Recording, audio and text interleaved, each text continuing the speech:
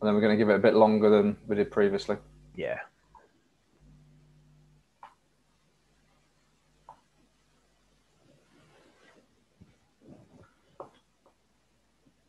Okay, so welcome to another one of our uh, tech talks, uh, which we're live streaming on YouTube. Um, today, we got myself, Kevin, and Alistair, who's also joining me. And we're going to be looking at some of our compact motor, motor driver boards for the BBC Microbit. So um, it's a bit of background. We've sold motor driver boards for the Microbit for, for lots of years. Um, but we've recently made some changes to we think make them better and also lower cost. So that's the kind that's the products we're going to cover off today. Alistair's going to take you through them in detail. Um, we are taking questions on YouTube. So if anyone has any questions and want to message those in, we've got Mark here who's manning that for us. We'll, myself and Alistair will do our very best to answer those questions, and um, we'll either do that during the video um, or at the very end. We'll try and cover any questions that anybody has. Okay, so I'm going to start off by showing you the products we're going to cover today. If I can just share my screen. Give me one second.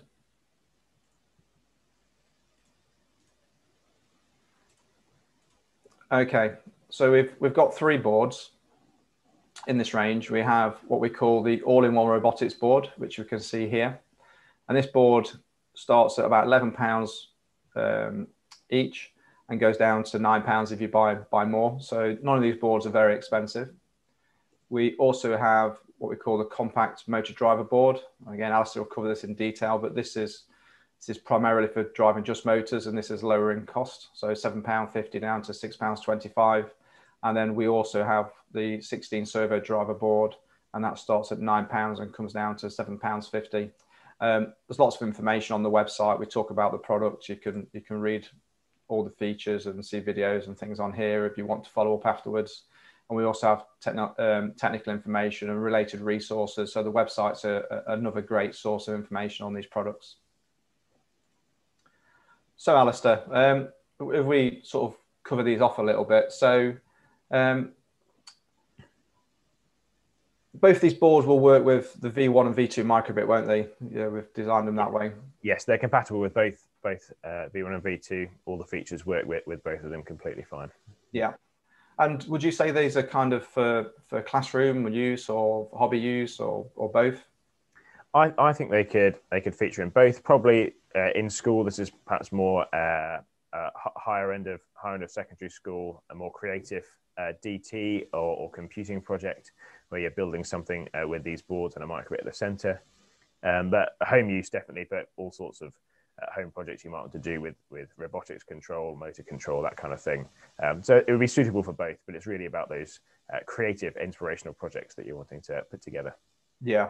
And the good thing with the microbit, obviously, the microbit itself has lots of sensors built in, doesn't it? So, you know, you've got accelerometers and compasses and light sensors and temperature sensors. So you could easily use those sensors along with this board to, to, to make something happen. Absolutely. You know, yeah, it could be a fan that turns on with temperature or, or lots of, you know, the, you might open a window with uh, when, when it's light in the day and close it at night time using the microbit sensors. So we think they pair really well. So should we take a look at these boards in a little bit more detail?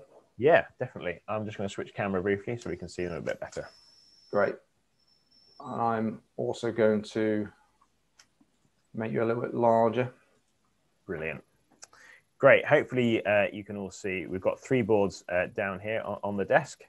Um, we've got the uh, motor driver here, a 16 servo driver here, and the all-in-one robotics board uh, just here. I've got them all together just so you can see that there are a lot of common features um, between these three boards. Um, I guess first off, you can see they've all got the same uh, size uh, and, and shape. Um, they've all got uh, the microbit edge connector in, in the same place. Uh, they've got these mounting holes here and here, all in the same place. Um, power LED, power switch, uh, and power supply connectors, and this row of um, uh, breakout pins that you can solder solder things like um, pin strip to for breaking out the board. I'll show that a little bit more later. But these boards are, are clearly all in the same range, and, and, one of the reasons we've done this is to make them look familiar to each other, um, and so that you can also it's possible with with some of our stackable pin headers that we sell. Um, you can actually layer these boards up uh, and control them all together uh, with one microbit, uh, which is a really good feature. Um, they, they all use the, the same kind of the same kind of terminal blocks, the same kind of servo connectors if they've got servo connectors on. Um, so that's all. There's a lot of common features uh, between all of these, um, which makes them a really good set of products to use together. Uh, I guess I'm, now I'm going to go through uh, each one individually, uh, just to give a bit more detail and explain what's explain what's going on. So I'm going to get rid of these for now, and we'll have a little look at the motor driver board. Uh, if you excuse me while I just just going to make it a little bit clearer for us. So I mean, I, I think these boards, these newer ones, look a bit friendlier than probably the, the original boards we designed. Yeah, I would I would say so as well. And um, they've got these nice rounded corners, um, which just make them a bit a bit safer and look a bit nicer. Uh, and because they're a bit smaller, uh, they just they just look a bit bit less intimidating. Um, so right here on the motor driver board, uh, we've got the edge connector uh, for the microbit to slot into. Uh, then we've got the power connector here. Um, and then this row of terminal blocks and these ones here, we've got motor driver connections here. So this can drive uh, two DC motors or a single stepper motor. Um, and then there's breakouts for pins one and two on the microbit um, along with uh, ground and three volts, and also for buttons A and B. So you could you could break out uh, extra buttons on, on, perhaps a robot that you're making that's that's got a two wheel drive, um, or you could uh, add other inputs and outputs through those uh, terminal block connections and provide power to them as well. Things like LEDs or perhaps some uh, distance sensors, that kind of thing. So um, those buttons then, would they they sit in parallel to the standard ones on the microbit, do they? Uh, yes, they would. They're, they would not be extra to the ones on the board, but they might break them out uh, to be easier to access in the device that you're making. So they would go uh, alongside it. It would be just the same as if you're pressing, excuse me, A and B on the microbit itself. Yeah. yeah. So the, the person would just use the on button A press block, and, and that would react in the same way. Yes. Uh, yes, definitely. Um, it works works really nicely like that. And that's the features of this board. This is uh, it's simply a motor driver board. It's great for driving uh, great for driving those motors and for adding those extra sensors uh, and other inputs and outputs. So, Alistair, on those motors, then, can uh, you know what control do you have? You know, you, have you got forward, reverse, or, or you know those? Um, for, for, for both motors, because uh, it uses a it's a dual H bridge um, uh, IC, uh, motor driver IC on there. You've got forwards and reverse, and you've also got um, varying speed uh, control as well, all of which can be controlled uh, through the microbit. Um, so you can, on the fly, you can vary direction and speed uh, as, as, you as you wish. So you've got full control over the motors you connect there. Fantastic. Brilliant. I'm going to pop that to one side and grab the 16 servo driver uh, just now. Uh, there we go. Uh, so this is the 16 servo driver. Um, again, you've got the power connectors here. Um, you've got either this terminal block or there's this um, servo style connector. Um, actually, you, you, can you can use with all these boards. Uh, you've got um, the option of using a battery pack uh, with uh, wires just on the end here, which can be slotted uh, straight in, and use a, a screwdriver uh, to tighten them up, just like that. Or um, you might have seen, or perhaps you've got um, something like a remote control car uh, connector that's got this servo style connector on, and that can be plugged in really easily uh, to this point here as well. You can see the switch on and off here. Um, and that can be plugged in either way around because we've made sure that power is in the center and ground's on either side. Um, and that way you're, you're, you're, reverse polarity protected and it's, and it's safe to plug in. And we sell some, some of these little cables that can link up um, with, with, your battery pack. Um, so you've got those two options for powering from a battery pack, or you could wire in uh, something like a, a, a, wall supply that's got some uh, pins broken out there as well. We've used both of those uh, in some of the projects we've uh, included these boards on. So they're really versatile for, for powering lots of different ways uh, that's really convenient for you. Uh, moving on to, to this edge, we've got this big row of these um, servo connectors. there's 16 of them, as the name the 16 servo driver would suggest. Mm -hmm. And they can be used to control your little hobby servos uh, like this, uh, either continuous rotation ones or um, the standard uh, 0 to 180 degree. Uh, and also you've got, we've got these bigger ones as well uh, that we sell. Uh, this is suitable for powering both of them. you've got a really good current and voltage rating on this board. You can power with up to 12 volts and you've got 12 amps of current can run through. So you're, you're not limited at all really in, in the projects you can create with this. Yeah, and, and that that uses that that chip there drives all of those, doesn't it? So you you've those um, extra pins along the top. They're still available, aren't they? We've not used 16 of the microbit pins to drive these, have we? Yeah, that's right, Kevin. Um, just like uh, on the microbit, you've got the accelerometer sensors and the other sensors like that that are on the microbit's I squared C communication bus. Uh, this chip here, uh, which drives all of these servos, is on the microbit I squared C line. So that means all the other pins, um, apart from 19 and 20, are available um, for connecting things like uh, input sensors, or other outputs like I guess uh, LEDs or speakers, that kind of thing. So you've got everything else is available. And I'll just show, um, I talked about earlier, you've got things like uh, pin headers. You can either use vertical ones or these right angle ones, and they can solder in really nicely at the edge. And you can use something like uh, these jumper leads just to plug in uh, really nicely uh, rather than having to solder and desolder every time you want to change something. That can be a really good way for adding extra features to these boards in the projects that you're, you're creating. Uh, and finally, uh, we've got the, the third one in the set. Uh, we've got the all-in-one uh, robotics board. And this one's really a combination of both the boards we've just seen. Um, so rather than just motors and just servos, uh, we've got eight servo connections at this end. And then, although this looks uh, like it might be exactly the same setup as the motor driver, this is actually four motor output connections. We've got two of the dual H-bridge ICs here, which means you've got full control of uh, four motor outputs.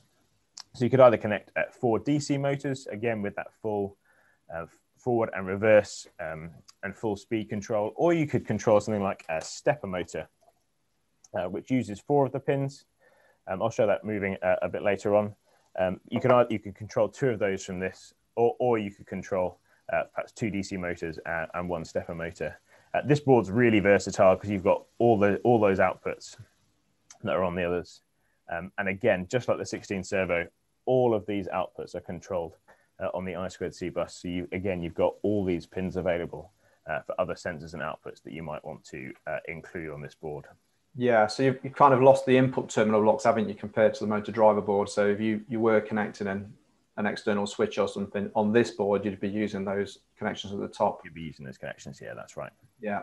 And just, just you know, sorry, Alistair, just thinking, um, on the older style boards, we had the, the, you know the bigger, chunkier microbit connector, which you know has been replaced by what we think is now this nice sort of slicker, slimmer version. But this does only work in one direction, doesn't it, for the microbit?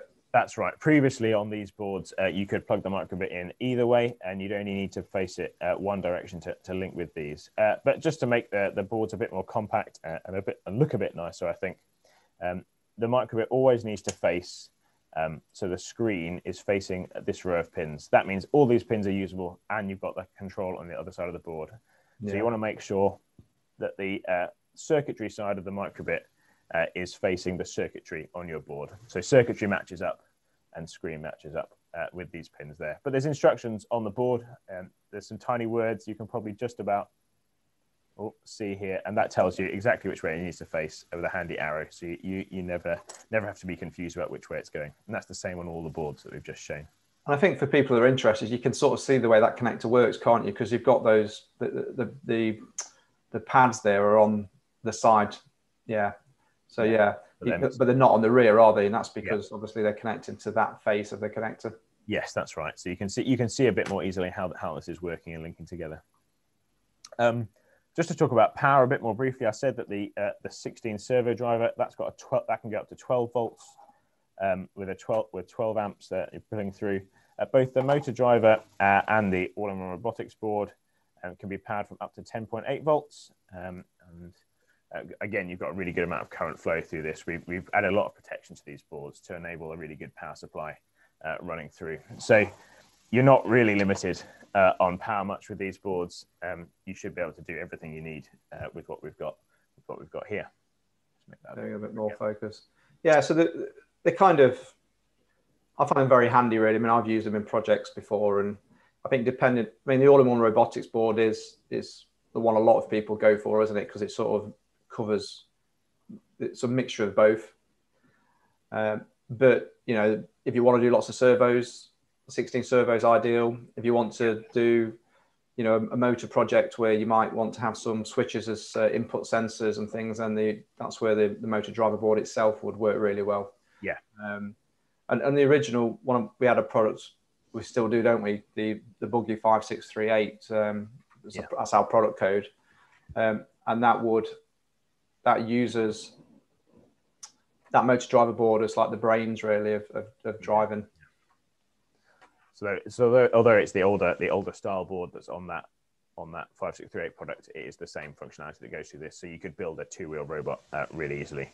Yeah. With that motor driver board, if that's all you want to do, and it, it's nice that the prices are different for each one, so you've got you've got that variety uh, for for whatever it is you actually want to make at that point. I might be able to just show that to people quickly. Just find it. Um, let's do that. Let me just show you that.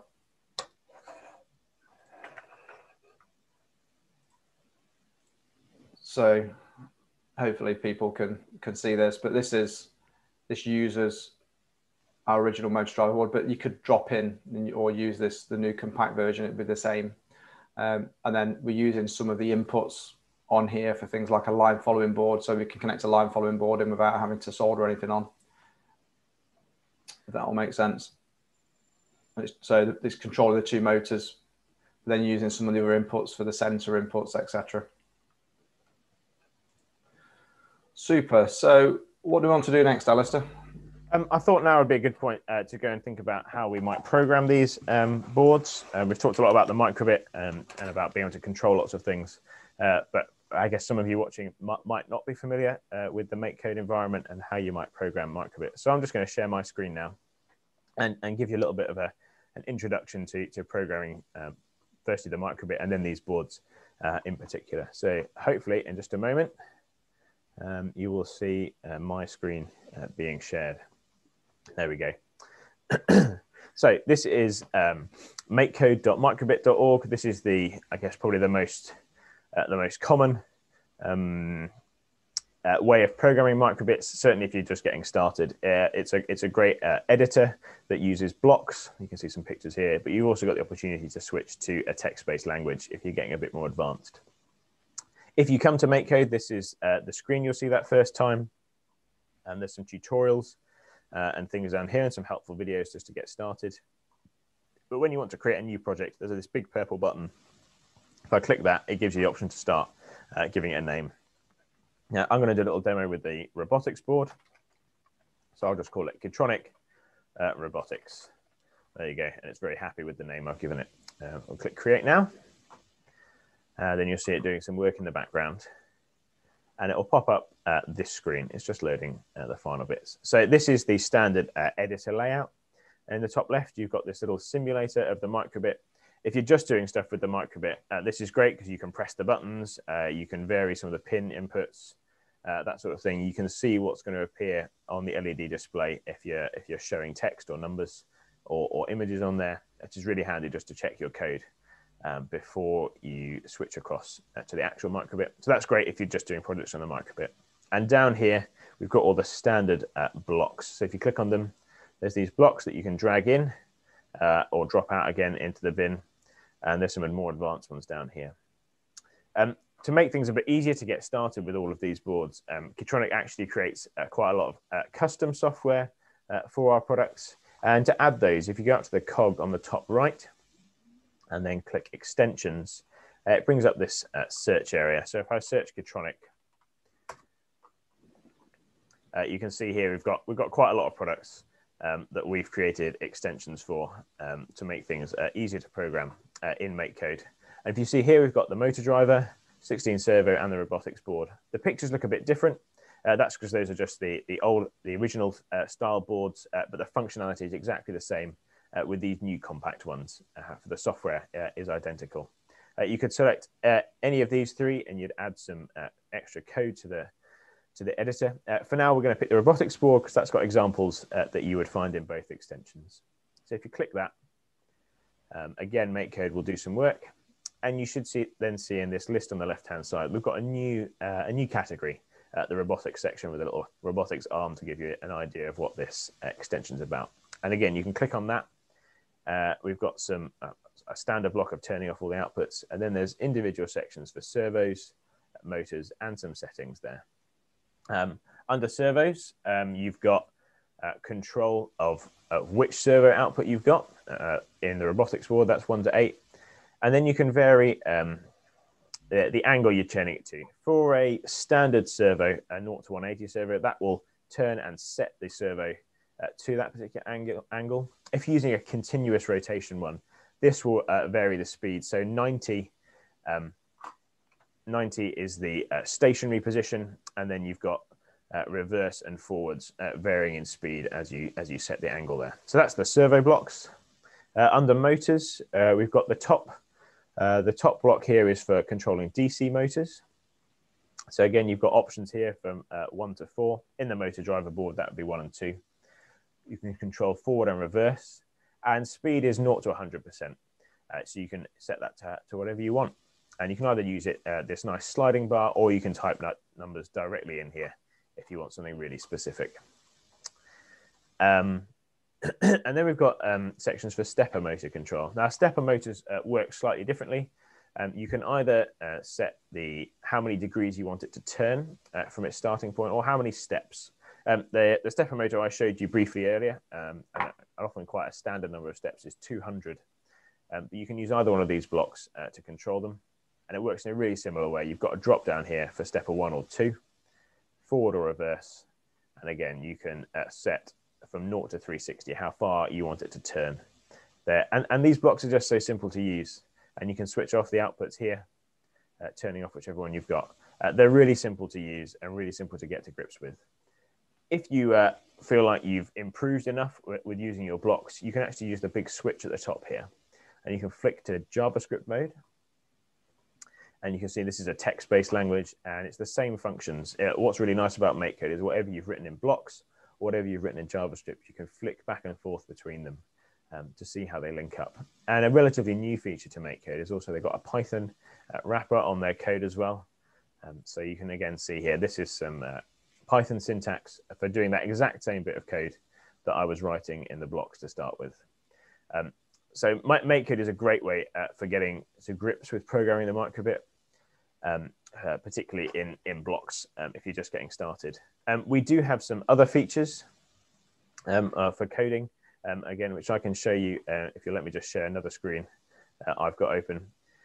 If you uh, really want to be programming in MicroPython, uh, we have actually on our GitHub page, that's Kitronik Limited at GitHub, um, we've created some examples for MicroPython for, for these boards. So we've got one for the 16 servo driver here. it's got some example software an example um, functions that you need for controlling in MicroPython. This is when you might be writing in uh, editors like Mu uh, or the online uh, Microbit mi MicroPython editor. Uh, and then here in our Microbit modules for MicroPython, um, we've again got um, things for the motor driver uh, and for the robotics board here. So we've got a, a nice file that you can include as a library and there's instructions on the MicroPython page for how you include these. So we, we've tried to cover both uh, both key areas where where programming is taking place uh, for the microbit, which hopefully um, covers covers everyone's needs for how they want to program this. Yeah. So I mean, these are.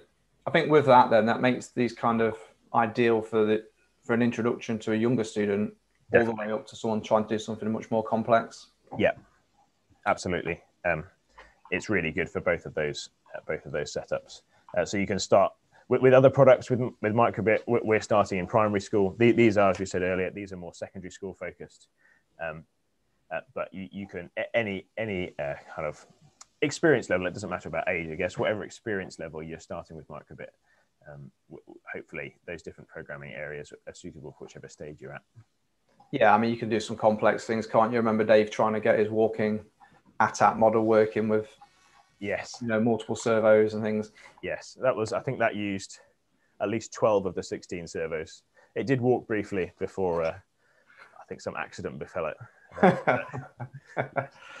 yeah. So I've got a question then, Alistair. So uh, we've been asked if you have an ultrasonic sensor that's five volts yeah. and you want to use it with the all-in-one robotics board where they're generally three volts on the, the, the pads on the edge, the link pads.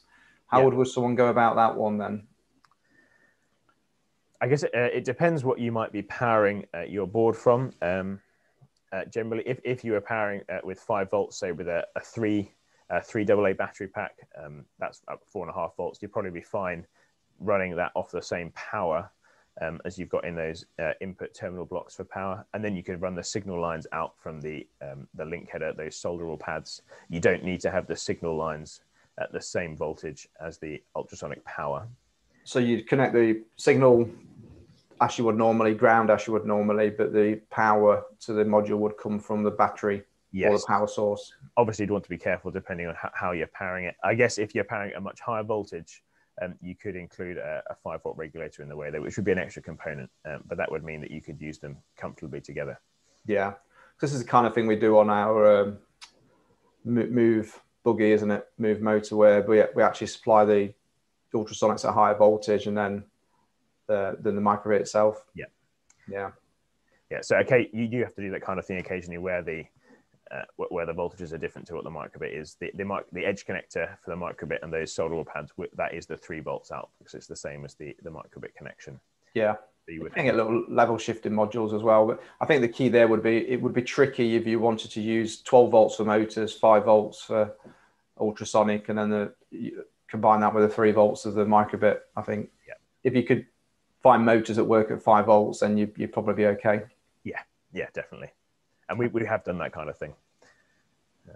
So it fantastic. Should, work. So hopefully that's uh, answered that question.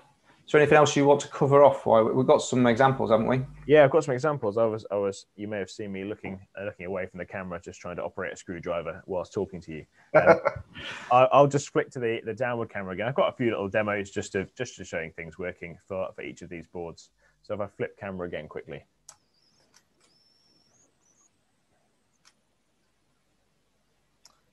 There we are, not quite in shot there. Here we go. So uh, to start with, uh, I thought I'd look at the, the, motor driver as it's the simplest of these boards. Try and get it all in shot. Uh, I've got a simple DC motor with a nice big fan uh, on here. And I've got a, a, battery pack connected. I'll flick it on. And if I press button A, oh, when I've got it in shot there, see the fan turns nicely in one direction and then really slowly uh, in the other direction. I'll do that again. So we've got uh, direction and speed control shown here really simply. I've got it 100% speed in one direction and then fading down to a stop uh, in the other. So it's really simple. That was a really simple four line program uh, that I used uh, for MakeCode. And that's just connected here to, uh, to input, to output one here. Uh, if I flick that off and if you just excuse me a moment while I switch boards, I thought I would show you um, the 16 servo driver. Now, rather than me individually connecting up 16 servos to this, uh, which would take quite a long time, uh, I thought I'd just show you our, our, test box for this. We test all our products uh, really thoroughly here at Kitronik, um, and that involves some big boxes like this. Now, you can't see all of it, but you have to trust me. Um, there are 16 servos all along here. It's just too big. It's just too big to get in shot all at once. Um, so if I just plug the board in here, let's see if I can do this from a distance. It is upside down for this. Um, and if I press the big, the big green start button here, oh, is it powered up? There we go. This always happens in demonstrations, doesn't it? Have you got it turned to the on position? Well, that'd be a great idea, wouldn't it? Thank you, Kevin. Thank you, Kevin. There you can see all the servos nicely waving backwards and forwards here. You've got great control, forwards and backwards this is something we do. So every one of these boards we build gets a, a test like this, doesn't it, to make sure that it's working how it should. Um, yeah. Um, so that's not the most interesting test, but you can see lots of them, uh, lots of them running all together. Um, a, a, better one would have been that walking robot, and maybe one day our technical director will, will make it walk again. Um, have to give him some time. Um, the final one I was going to show is the robotics board, and I thought at this point it would be good to show uh, how the stepper motor works. Um, so rather than a DC motor, which has uh, got two connections, uh, the stepper motor has actually got uh, four wires because they come in pairs working for the on the uh, coils um, that you've got inside. Yeah, so people probably not aware of what stepper motor is, they, they move to an angle, don't they? Yeah, and they're really good for precise control of that angle. So you'll often find them in things like um, uh, uh, 3D printers will have stepper motors for for moving the the head the head around or the bed uh, moving, so you can get that really precise control. Yeah, our laser cutters at work they they do they use them, don't they? Yeah. So they are they're, they're used in a lot of things, but you might not you just might not have come across them uh, on a day to day basis. Um, so we've got here uh, a little a little yellow flag, just sort of hold to the side and you can see I've, I've told it to turn 180 degrees in one direction and then 45 degrees back the other way. And it works really nice and smoothly. So I use the degrees block uh, for that one. Um, I've also got here, just to, just to show some servo control, uh, we've got one of our claws. Um, yeah, the other thing with stepper motors is they've often got a lot of torque, haven't they? Yes. Uh, much more so than the DC motors we sell. Mm. they're much stronger for for not just turning small flags, um, for actually controlling uh, something much bigger and something that you need to. Um, yeah, we, have got an example. I think you're going to show a little video in a minute, won't you, Kevin, of something that we we, we created uh, using. I, I, do have, yeah. And The good thing in this shot here, we can see the power LED on as well, which we've we've not really. Oh yes, you can see it there. It's very nice. Although my finger just covered it, you can see yeah. it on and off nicely there. Just gives that a little visual indicator uh, of what's going on on the board. And I guess fine, I'll just show you uh, some, some servo control. So we've got one of our claws here. This is a servo control, just using one of those little hobby servos there. Uh, really nice, open and close. This is the kind of thing you could create. You could create uh, with this board and controlling some servos. Um, yeah. This has got so many outputs, uh, so much you can do with it. Uh, it's such a versatile board, and you can control so many things all at once yeah, I know we've had sort of fun making a few different projects with this over the years, haven't we? We've sort of done. Did we do a blimp at one point? That we were messing about with. And... Yeah, I did. So I got involved with it. It was a. It was a, a potential for a school project uh, with some of the people who do uh, race to the line. Um, we we had some big, some really big helium balloons uh, that we were control, using to provide lift for some little balsa wood um, airships, and then we use the robotics board as the controller with a microbit to uh, control fans uh, for direction, for speed, uh, for, for, lift up and down. Um, and that was really good. We had there were maybe 20 groups, 15, 20 groups, all flying little airships around inside uh, inside inside a, a, lab a lab room um, over in Manchester, and that was really good. So just a, a bit different to the normal um, wheeled robots that we see, or the walking robots uh, this is a great board for, for doing some more interesting projects like experimenting with flight with the microbit. So uh, yeah. So while we're chatting away, I will find that project we were going to show. Oh, it's all in the way. So here we go. This is a servo motor driven project that we made. This uses the original all-in-one robotics board, I think. Yeah. Um, but the, the, it's replaceable, isn't it, by the new version? Yes. Yeah. And one of the, the other benefits to the new version, because the PCBs are physically smaller, um, and we've made some other advances, I guess, over over the years, the price of them's come down. Mm. So um, not only do they have the extra features of the power switch and the LED and other things that we've added, they're also lower cost than those original versions were. Yeah. So yeah, yeah, this is a really nice um, example of a stepper motor uh, in action with getting a really nice smooth control, uh, and you could you could get the angles uh, really specific to represent a nice little Ferris wheel. Uh, yeah, and the reason to I think to use a stepper motor in this specific specific example would be, you know, in a fairground ride, if you were stopping to let people on and off, you would always want to stop exactly in the right position, wouldn't you? Yep. You could easily spin this with um, a DC motor uh, but unless you had some other sensor feedback, you wouldn't know that you'd stopped exactly where you wanted to. Yeah. Whereas with a, um, a stepper motor, you would know, wouldn't you? I want to stop at zero degrees or you know 20 degrees or whatever, and that could correspond with these um, carriages being exactly in the perfect position for people. Yep. Exactly. That's exactly. And, and also, as you said before, it's got the higher torque. You're you're being able to turn something that's a much bigger uh, physical size and weight here uh, with with, with uh, relative ease. Yeah, yeah, yeah. Um, Fantastic. Um, I had a couple of other screens to show if you. Uh, yeah. I was going to say we've got also things like linear actuators, haven't we? Which you know, you know they would work well with these boards. Yes, uh, absolutely. Um, for again, like you said earlier, you talked about opening and controlling windows, that kind of thing. Um, a linear actuator great, great for that. Uh, I was just going to show a little example of a project that we did a few years back uh, with a 16 servo driver. Um, we only used eight of the outputs at that point, um, but we've got a microbit. It's hidden behind the back there. But we created this uh, handbell um, playing uh, device for playing some Christmas tunes on a little set of handbells. Uh, and we used a similar thing at our Bett show if anyone came along to that um, with playing playing some tunes on there. So each one of these has got a servo. Uh, it controls a an arm that, that rings that rings a bell. And we made some you know, some classic Christmas music to, to be playing on there, uh, which was great fun in the office. Uh, and also, just uh, uh, another year at Bett, we created the big Kitronik City setup, and we had um, certainly had an all-in-one robotics board and a 16-servo driver controlling various things. You can see again, this was uh, the Ferris wheel came out of this. This was the London Eye uh, sort of setup, and some buildings that have got a, a mock-up of a wind turbine. This was a robotics board control project. So we had a stepper motor controlling the London Eye, and we used a motor driver to, to show like a wind turbine turning. And actually, we used at this point one of the link header breakouts to control an LED to flash at the same time. Um, so it wasn't just uh, motors and servos at this point. Um, it was it was other outputs as well. Uh, so that's just a few of the things uh, that we've done uh, that we've done with these boards. Um, yeah, we really like using them, uh, and they're so great for, for those creative projects that you're you're undertaking at school or at home.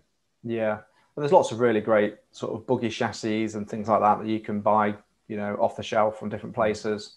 You know, they might look like tanks or you know, or various stuff, and, and these boards would be perfect for using with those kind of kits. Yeah, um, yeah, I've seen people use them to make sort of boats as well. You know, where you're powering boats and then using a servo to give the direction on the on the rudder. Yeah. So there's, there's clearly lots you can do. Yeah. I've got another question then, Oh, and I must say this one feels slightly more technical, so hopefully you can help me, Alistair. um, so again, going back to the um, stepper motor, Okay. if we've got a six-wire stepper motor, how would they connect? I'm not sure I've seen a six-wire one. Um, I must admit, all the ones that we've got and we sell are four wire ones, so it has been set up to to work with that. I think, given that uh, with the all-in-one robotics board you have got six motor outputs, although the blocks aren't set up themselves uh, for for controlling across those, uh, I think it would probably be possible if you were writing your own software for this in something like um, uh, MicroPython. Um, then it would be possible. I'm not going to guarantee it, um, but I, I could say because you've got uh, eight motor outputs, you've got the three pairs of wires. Uh, I'm guessing from your you know stepper motor for three th- three coils rather than two. Um, Yeah. it should be possible with a ro- all-in robotics board uh, to control that, but it wouldn't with, with our blocks that we've got in MakeCode straight out of the box. It wouldn't work. Standard now, and you could only drive one then, couldn't you? Yeah, If you, if you could get it to work, maybe that's one for us to have a little we can have a little look into that. Yeah, yeah, and then um, it might be something we could create a little resource on the website or whatever, and maybe link from this video. Yep. Or if not, we could put the explanation in the video comments afterwards. Absolutely. yeah. Um, yeah, I mean, yeah, like you say, we don't sell them, do we? So it's probably something we've, we've not really tried, but certainly something we can look into. Yeah, is there anything else we want to cover off then, Alistair? We've sort of been on for about 40 minutes now. talk through most things. If there's uh, if there's any other questions that people have got, um, that would be great. We'd love to answer those. Um, I think we've probably given a good overview of uh, of these boards. Yeah. Let me just see if, if there's anything from Mark then.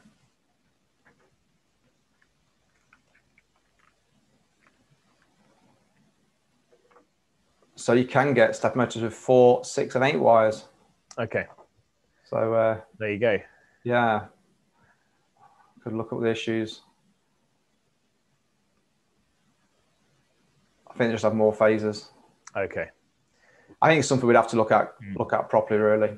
Yeah. Um, but yeah, I, I mean, common question we tend to to get a lot is, is powering these boards. Really, I suppose the key thing for people is to make sure that the power supply they choose is is within the the range of the motors they're going to want to connect.